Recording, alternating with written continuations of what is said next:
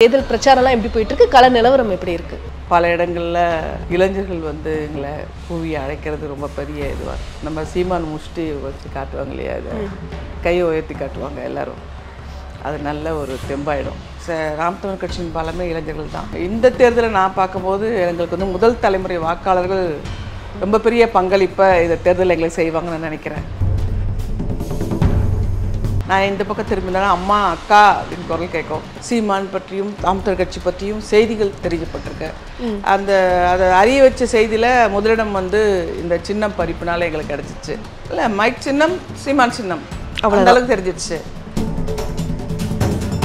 So இந்த தேர்தல் களத்துல உங்களுடைய பலமா நீங்க என்ன நினைக்கிறீங்க? என்னுடைய பலம் என்பது வந்து மக்களுடைய வரவேற்பு தான். ஆனால் ஓபிஎஸ் போய் இப்போ அங்கே போய் சேர்ந்ததால பாஜகவோட சேர்ந்ததால அதிமுகவும் எங்கள் பக்கம் திரும்பி இருக்கிறதா நான் உணர்றேன்.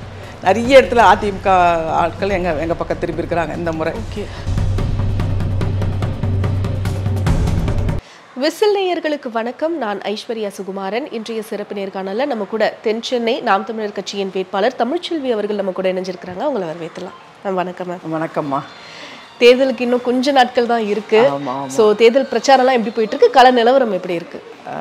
ரொம்ப சிறப்பாக போயிட்டுருக்கு. தினந்தோறும் போயிட்டுருக்கோம். இன்னைக்கு பன்னெண்டாவது நாள். நாங்கள் பரப்புரை ஈடுபட்டிருக்கோம். கல நிலவரம்னு பார்க்கும்போது பல இடங்களில் இளைஞர்கள் வந்து எங்களை கூவி அழைக்கிறது ரொம்ப பெரிய இதுவாக இருக்கும் காலையிலேருந்து ஒரு பத்தரை மணி வரைக்கும் சோர்வாக போயிட்டே இருக்கணும்னு வச்சுக்கோங்களேன். அந்த சோர்வு கடையில் ஒரு கூக்குரல் கேட்கும் ஒரு கும்பலாக ஒரு இளைஞர் கூட்டம் கேட்கும். அந்த அதை வந்து மகிழ்ச்சியாக அப்படியே நம்ம சீமான் முஷ்டி வச்சு காட்டுவாங்க இல்லையா அதை கையை உயர்த்தி காட்டுவாங்க எல்லாரும். அது நல்ல ஒரு தெம்பாயிடும். திருப்பி அந்த பக்கம் பண்ணால் பெண்கள் எனக்கு வந்து வியப்படுற வியப்படுகிற விஷயமா இருக்குது பெண்கள். பெண்கள் வந்து ரொம்ப ஆதரவு தர்றாங்க. அது எனக்கு வந்து ஒரு வியப்பாகவும் இருக்குது இந்த பரப்புரையில். ஏன் வியப்பா இருக்குன்னு சொல்றதுக்கு காரணம் இல்லை இல்லை. பெண்கள் வந்து நான் நினச்சது என்னென்னா இப்போ வந்து எங்களுக்கு ஊடக வலிமை இல்லை. காணொளியில் மட்டும்தான் எங்களுடைய பரப்புரை இருக்குது அது வந்து ஒரு கைபேசி எடுத்து அந்த இணைப்பை கொடுத்து அது பண்ணுற அளவுக்கு நம்ம பூக்கார பெண்களோ மற்றவங்களோ இதுவாக இருக்க மாட்டாங்களோ அப்படின்னு நினச்சிருந்தேன். அது அல்ல அது இல்லாமல் இருக்காங்க. அவங்களும் விழிப்புணர்வோடு இருக்காங்கன்றத அதனால தான் அந்த பெண்களை பற்றி சொன்னேன் ஸோ சூழல் மாறி இருக்கு. சூழல் நன்றாக மாறி இருக்கு. சீமான் பற்றி நன்றாக செய்திகள் தெரிஞ்சிருக்கு. கட்சியை பற்றி நிறைய தெரிஞ்சிருக்கு. ஓகே இளைஞர்களை பத்தி சொல்லியிருந்தீங்க. ஸோ இளைஞர்களுடைய பங்களிப்பு எந்த அளவுக்கு இருக்குன்னு நினைக்கிறீங்க? எங்களுடைய பலமே ச- ராம் தமிழ் கட்சியின் பலமே இளைஞர்கள் தான். இந்த தேர்தலை நான் பார்க்கும்போது எங்களுக்கு வந்து முதல் தலைமுறை வாக்காளர்கள் ரொம்ப பெரிய பங்களிப்பை இந்த தேர்தலில் எங்களுக்கு செய்வாங்கன்னு நினைக்கிறேன். எங்களுடைய கட்சியிலே நீங்கள் பார்த்தீங்கன்னா தெரியும் சீமான் எந்த இடத்துல பொதுக்கூட்டம் போட்டாலும் அதுக்கு முழுக்க திரள்றது இளைஞர்கள் தான். அதனால் அவங்களே எங்களுடைய களப்படியாளர்கள் எங்கள்கிட்ட இருக்கிறாங்க. அதனால் இந்த தேர்தலை வந்து இன்னும் சிறப்பாக எதிர்நோக்க முடியுது எங்களால். ஓகே. ஸோ இளைஞர்களுடைய பங்களிப்பு இந்த முறை அதிகமா இருக்குன்றீங்களா? எங்களுடைய எங்களுடைய பிள்ளைங்க இருக்காங்க. நாம் தமிழ் கட்சி பிள்ளைகள். ஆதரவு தருகிற பிள்ளைகளும் அதிகமாக இருக்காங்கன்னு சொல்ல வரேன். அது எங்களுடைய பிள்ளைகள் எப்பவுமே இருக்கிறது இளைஞர்கள் பிள்ளைகள் தான். அதுதான். ஆதரவு தர பிள்ளைகள் தான் கேட்குறேன் அவங்க அதிகமாகி இருக்கிறாங்களா? ஆதரவு தர பிள்ளைகள் நான் சொல்கிறேன் இல்லைங்களா? எங்கே போனாலும் க சீமன் கை உயர்த்துற மாதிரி கை உயர்த்தி எனக்கு சொல்லுவாங்க. நான் இந்த பக்கம் திரும்பினா அம்மா அக்கா அப்படின்னு குரல் கேட்கும். பார்த்தா ஒரு அஞ்சு பேர் இருப்பாங்க. எல்லாமே பார்த்தீங்கன்னா ஒரு இருபத்தோரு வயசு இருபது இருபத்தி ரெண்டு வயசு அதுக்குள்ளே இருப்பாங்க. அதுதான் அந்த இளைஞர் பட்டாளத்தினுடைய வருகை வந்து வரவேற்பு ரொம்ப பிடிச்சிருக்கு. மகிழ்ச்சியாக இருக்கு பெரும்பாலும் எவ்வளவு ஆதரவு இருக்கு மேம் இப்போ நீங்க போறீங்க பரப்புரைக்கு போறீங்க மக்களின் ஆதரவு எந்த அளவுக்கு இருக்கு? அதாவது நேற்று இதில் வந்து பார்த்திங்கன்னா ஒரு செம்மஞ்சேரி அந்த பகுதியில் பரப்புரை பண்ணிட்டு இருந்தபோது நாங்கள் வந்து ஒரு இதில் போயிட்டு இன்னொருத்தர் விட்டுட்டு வந்துட்டோம்.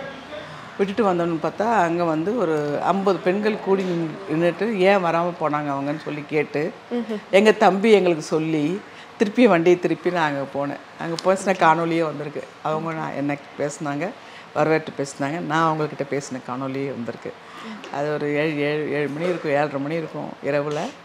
அந்த பெண்கள் அவ்வளோ உற்சாகமாக சொன்னாங்க.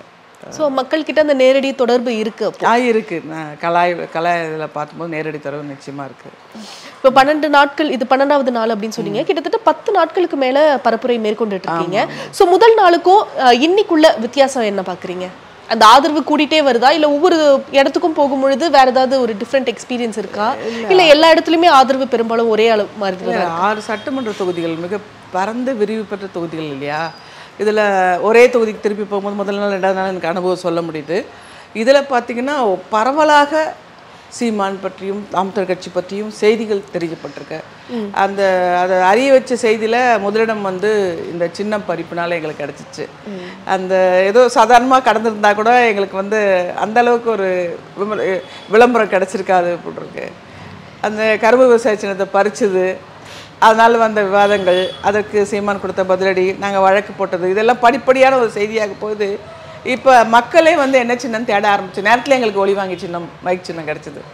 அதனால கொஞ்சம் எங்களுக்கு ஒரு பெரிய இது கிடச்சிது. அதனால ஒவ்வொரு இடமும் போக்கும் போகும்போது ஒவ்வொரு இடம் பார்க்க ஆறு சட்டமன்ற தொகுதியாக கடக்கிற பொழுது ஒவ்வொரு வித்தியாசமான அனுபவங்கள் இருக்குது. ஆனால் வரவேற்பு கூடி இருக்குது. அப்படி பார்க்குறேன். சோ அதை பாசிட்டிவா தான் பாக்குறீங்க அந்த சின்ன மாறி இருக்கிறது இப்போ வந்து அது ஒரு விளம்பரம் கிடைச்சதுனால அது ஒரு பாசிட்டிவா மாறி அப்படி தான் பார்க்குறேன் அப்படி தான் பார்க்குறேன் இப்போ ஒரு நீண்ட போராட்டத்திற்கு அப்புறம் தான் அந்த சின்னமே கிடைச்சிருக்கு. இப்போ அந்த சின்னத்திலுமே சில பிரச்சனைகள் இன்னமும் இருக்கு. இன்னமும் அதற்கான சவால்களை நீங்க மேற்கொண்டுட்டு தான் இருக்கீங்க. சோ அதை எப்படி மேற்கொள்றீங்க? அதை தாண்டி என்ன மாதிரியான சவால்கள்லாம் இருக்கு? செந்தமிழ் சீமான் சொல்லியிருக்கிறாங்க. அந்த குறை சொல்லி காட்டியிருக்காங்க. அதில் பட்டன் இல்லை பட்டன் இருக்குது. அதான் குறை. அது சொல்லி காட்டியிருக்காங்க. ஆனால் தேர்தல் ஆணையம் சொல்லியிருக்கு இல்லை நாங்கள் முதல்ல கொடுத்த இதுலேயும் இது அப்படி தான் இருந்தது. அப்படியே தான் அது பதிவாகி இருக்கிறது. அப்படின்றத அவங்க உரிய விளக்கம் கொடுத்துருக்காங்க. அந்த நிலையில் தான் இருக்குது இப்போ. அந்த பதில நீங்க எடுத்துக்கிறீங்களா? அது அப்படிதான் போட்டாச்சு இப்போ. சின்னம் போட்டாச்சு. அதை பார்க்கும்போது ஒரு நல்ல போன முறை மாதிரி இல்லாமல் கொஞ்சம் ஒரு நல்ல ஒரு இதுவாக தான் இருக்குது போன முறை விவசாய சின்னம் கொஞ்சம் தெரியாமல் இருந்தது. அந்த மாதிரி இல்லாமல் சரியாக தான் இருக்குது இந்த முறை. ஆனா தேர்தல் ஆணையத்தின் மீது தொடர்ந்து ஒரு குற்றச்சாட்டு வைக்கப்பட்டுட்டே இருக்கு. இந்த மாதிரி பிற கட்சிகளுக்கு அதாவது பாஜக இல்லாத கட்சிகளுக்கு இந்த மாதிரி தொடர் இடையூறுகள் எல்லாம் எ- கொண்டு வந்துட்டே இருக்கிறாங்க. அப்படின்ற மாதிரி ஒரு குற்றச்சாட்டு வைக்கப்படுது. அது முதல்ல எங்களுக்கு கேட்டு பார்த்தீங்களா பாரதிய பிரஜா கட்சி குடிச்சாங்க அது ரொம்ப தேர்தல் ஆணையம் செய்த ஒரு முறைகேடாக தான் நான் கருதுறேன். ஆஹ் அதுக்கு பிறகு நான் நாங்கள் பார்க்க நான் வேட்பாளராக நான் என்ன அணுகிற அந்த முறையில் எனக்கு எந்த ஒரு இதுவும் தெரியல. மிக சிறப்பான ஒரு வரவேற்போடு தான் இருக்கிறாங்க. ஓகே ஸோ அந்த நெகட்டிவ் இப்போ வந்து அந்த விளம்பரத்தினால ஒரு பாசிட்டிவா மாறி இருக்கு இல்லைங்களா? மக்கள் கிட்ட எந்த அளவுக்கு அது சென்றடைஞ்சிருக்குன்னு நினைக்கிறீங்க? குறிப்பா தென் சென்னையில. இல்லை மைக் சின்னம் சீமான் சின்னம். அந்த அளவுக்கு தெரிஞ்சிடுச்சு அதை வந்து நாங்களும் இப்போ நிறைய விலைக்கு சொல்லிட்டோம். அதனால. ஏன்னா இப்போ நான் வந்து பரப்புரையில் ஈடுபடுறது எங்கிட்ட ஒரு இளைஞர் கூட்டம். அது இல்லாமல் காலை அதிகாலை நேரத்துலையும் இரவு நேரம் வரைக்கும் ஆறு மணிலேருந்து பத்து மணி வரைக்கும் அந்தந்த தொகுதியில் களப்படை இருக்காங்க. எங்கள் மாவட்ட பொறுப்பாளர் இருக்காங்க. அந்த மாவட்ட பொறுப்பாளருடைய பிள்ளைங்கள் வந்து அந்த தம்பிகள் வந்து போகிறாங்க ஏழு எட்டு பேரா ஏழு எட்டு பேரா போயிட்டு இருக்காங்க. அஹ் ஒரு தம்பினா சலூன் கடை வச்சிருக்காரு. அந்த சலூன் கடையிலேயே வந்து என்னுடைய புகைப்படத்தோடு கூடிய இது போட்டு மைக் சின்னத்தை வச்சிருக்காரு. பெருசாக வரைஞ்சி வச்சிருக்காரு. அப்படிப்பட்ட தன்னார்வர்கள் தொண்டாளர்கள் சொல்லுவோம் இல்லையா? அது மாதிரி தன்முனைப்போடு செய்கிறவங்க அப்படிப்பட்ட தொண்டர்கள் எங்கள்கிட்ட நாம் தமிழ் கட்சியில் உண்டு. ஓகே ஸோ இந்த தேர்தல் காலத்துல உங்களுடைய பலமா நீங்க என்ன நினைக்கிறீங்க? என்னுடைய பலம் என்பது வந்து மக்களுடைய வரவேற்பு தான். இதில் வந்து அனைத்து கட்சிகளுமே ஒவ்வொரு பக்கம் நாம் தமிழ் கட்சியை வளர்த்து விடுற மாதிரி பண்ணிட்டாங்க. ஏன்னா கூட்டணி சேர்ந்த முறையில். அவங்கவுங்க கூட்டணி சேர்ந்த முறை இருக்கு இல்லையா? அது வந்து எல்லாருமே இதுவாக இருக்குது இப்போ ஓபிஎஸ் போய் பாஜகவில் சேர்ந்தது. அதிமுகன்னும் போது ஓபிஎஸ் இபிஎஸ் ரெண்டு பேருமே செஞ்சு நினச்சிருந்தாங்க மக்கள். அவங்களுக்குள்ள பிரிவு இருந்தால் கூட என்னைக்கா சேர்ந்துட மாட்டாங்கன்னு சாதாரண அதிமுக தொண்டர்களுக்கு அந்த நினைப்பு இருந்தது. ஆனால் ஓபிஎஸ் போய் இப்போ அங்கே போய் சேர்ந்ததால் பாஜகவோட சேர்ந்ததால் அதிமுகவும் எங்கள் பக்கம் திரும்பி இருக்கிறதா நான் உணர்றேன். நிறைய இடத்துல அதிமுக ஆட்கள் எங்கள் எங்கள் பக்கம் திரும்பி இருக்கிறாங்க இந்த முறை. ஸோ அதிமுக வாக்காளர்கள் வந்து உங்களுக்கு ஓட்டு ஆ, போடுறதுக்கான ஆமா ஆமா. ஆமா எடப்பாடி தனிச்சு நின்னா கூட அதிமுகவுடைய வாக்கு எங்க பக்கம் வரும்ன்ற நான் நம்புறேன். அது பல இடங்கள்ல சில இடங்கள்ல கேள்விப்பட்ட செய்தியில சொல்றேன். ஸோ அது இந்த தேர்தலில் உங்களுக்கு அது பலமா இருந்தது. ஆமா. அதுபடி பாமக போய் பாஜக சேர்ந்திருக்கிறது காரணமாக பாலையும் அதுலேயும் வந்து எங்களுக்கு வந்து ஒரு வன்னியர் வாக்கு இருக்கு இல்லையா? அவங்க வந்து எங்களை மதிக்க ஆரம்பிச்சிட்டாங்க. என்ன இவங்க போய் பாஜகவில் போய் சேர்ந்தான்னு சொல்லி சாதாரண ஒரு பாமகவோட தொண்டனுக்கு அது விருப்பம் இல்லை. அது பாஜக நம்ம வந்து எல்லாருமே வெறுக்கிறோம். மனித குலத்தை எதிரின்னு நினைக்கிற அளவுக்கு ஒரு கட்டமைப்பு வந்ததால் அந்த அவங்களுடைய கட்சி தொண்டர்களும் எங்களை வரவேற்கிறத நான் பார்க்குறேன். பொதுப்படியான ஒரு இது. இப்போ பொதுவாகவே சென்னை வட சென்னையாக இருக்கட்டும் தென் சென்னையாக இருக்கட்டும் மத்திய சென்னை வந்து திமுக அதிமுகவுடைய கோட்டை அப்படின்னு சொல்லப்படுது. ஸோ நாம் தமிழர் கட்சி அதை எப்- அதை தகர்த்தெறியறதுக்கு என்ன மாதிரியான யுக்தியை பயன்படுத்துது? தென் சென்னையில் எட்டு முறை திமுக வந்திருக்கு. அதுதான் இப்போ அது கோட்டைன்னு சொன்னால் அது மூணு முறை தான் அதிமுக. காங்கிரஸ் அஞ்சு முறை. நீண்ட நெரு வரலாற்றில் திமுக தான் அங்கே இருக்குது திராவிட முன்னேற்ற கழகம். அதுதான் அந்த இப்போ நான் எல்லா தென்சென்னை வேட்பாளராக நான் இன்னைக்கு களத்தை பார்க்குறேன். நான் வந்து ரொம்பவே யோசிக்க வேண்டிய விஷயம் என்னென்னா இத்தனை நாற்பது ஏறக்குறைய நாற்பது ஆண்டுகள் தென்சென்னைனுடைய பாராளுமன்ற வேட்பாளராக இருந்திருக்கிறாங்க. ஒரு எம்பி இன்னைக்கு தமிழச்சி போன முறை தமிழ் தங்கப்பாடினாலும் ஒரு எம்பி இருந்திருப்பாங்க இல்லையா? அவங்களால ஏன் வந்து நாட்டுக்கான நல்ல திட்டங்களை கொண்டு வர முடியல? தமிழ்நாட்டில் அந்த தென்சென்னை பகுதிக்காக அந்த ஆறு சட்டமன்ற தொகுதிகளுக்கான ஏன் ஒரு நல்ல திட்டங்களை கொண்டு வரலைன்ற கேள்வி எனக்கு மனசுலேயே இருக்குது சாதாரண ஒரு பெண்ணாக பார்க்கும்போது. அந்த திட்டங்கள் வந்து இன்னும் நன்றாக நிறைவேற்றிருக்கலாம் அப்படின்றதான் அவங்க இது பண்ணிட்டாங்க தன்னுடைய கொடி தன்னுடைய கட்சி அந்த பலத்திலேயே அவங்க பண்ணிட்டாங்களே தவிர சாதாரண மக்களுக்குடைய அடிப்படை வசதிகள் வந்து நிறைவேற்றி தரல அப்படின்றது கூட குறையா பார்க்குறேன் நான் அது.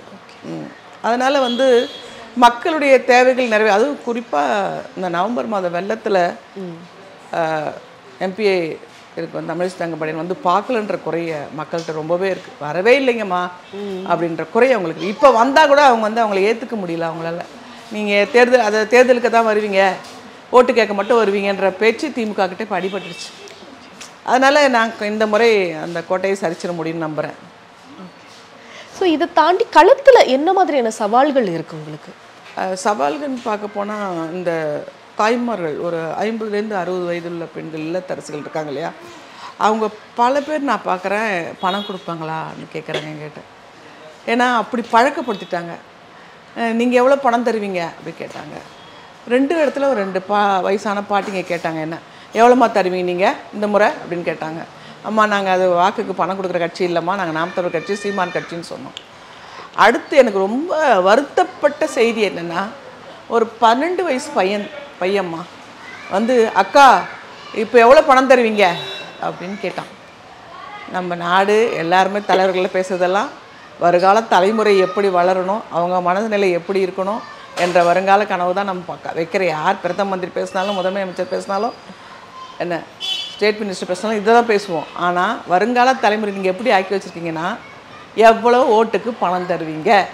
இது இரண்டு திராவிட கட்சிகளும் நாற்பது ஆண்டு ஆண்டு காலமாக செய்து வைத்த ஒரு அநியாயம். இது வந்து படிப்புக்கும் அறிவுக்கும் சம்மந்தம் இல்லாத அரசியல் நடத்திட்டு பணம் தான் அரசியல் அப்படின்ற நேரத்தில் அதை கொண்டு வந்து சேர்த்த எனக்கு வருத்தப்படுது. அடுத்து அரசியல்வாதிகள்னாலே சம்பாதிக்க வரவங்க அப்படின்ற போக்கை ஏற்படுத்திட்டாங்க. அப் நாங்கள் ஒரு தூய உள்ளத்தோடு போனால் கூட அவங்க எங் எங்களை கூட அப்படி பார்க்குற நிலையை நாங்கள் பார்க்குறோம். அது ரொம்ப வருத்தமாகவும் இருக்குது நிச்சயமா. இப்ப பரப்புரை கிளம்பிட்டு இருக்கீங்க So, அந்த அளவு இன்னும் உங்க நேரத்தை வீணடிக்க விரும்பல. நேரத்திற்கு ரொம்ப நன்றி நன்றிம்மா நன்றி. வாய்ப்பு கொடுத்ததுக்கு நன்றி நன்றி.